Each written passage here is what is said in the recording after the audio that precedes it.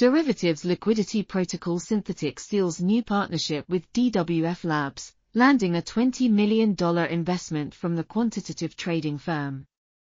Tokenized asset issuance platform Synthetix has secured a $20 million investment through a new partnership with Web3 investment and quantitative trading firm DWF Labs.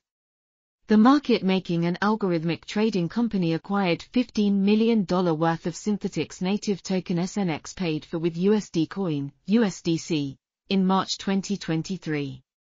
DWF Labs will be tasked with increasing SNX token liquidity and market making across centralized and decentralized exchanges.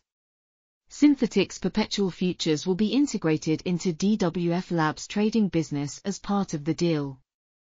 DWF Labs has also committed to purchase another $5 million worth of SNX tokens once the integration of Synthetix services has been completed. Synthetix allows users to tokenize a variety of real-world assets into derivatives called synths, which provide exposure to a range of different assets. Holding SNX tokens allows users to create synths by locking tokens into a smart contract and minting synths against the corresponding value.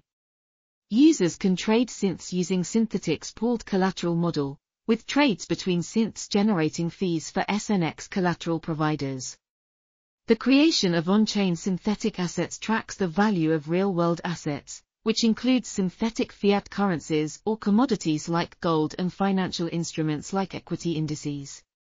DWF Labs managing partner Andrei Grachev highlighted the partnership's provision of streamlined trading mechanisms in the decentralized finance DeFi space. By leveraging Synthetix's deep liquidity and composability, platforms can now deliver better trades with lower slippage, allowing for innovative hedging strategies and unique use cases.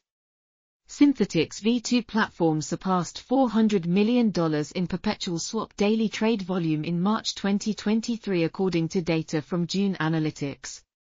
The derivatives liquidity protocol saw a surge in daily fees in June 2022 after a collaboration with liquidity provider Curve Finance to create curve pools for synthetic Ether, SETH, Ether, ETH, synthetic Bitcoin, SBTC, Bitcoin, BTC, and synthetic US dollar, SUSD, 3CRV.